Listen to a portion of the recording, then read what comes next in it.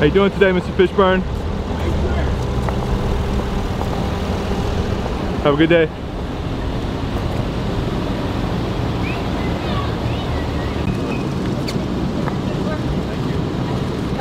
That's nice. Hello, you? Hey, you were great in King of New York.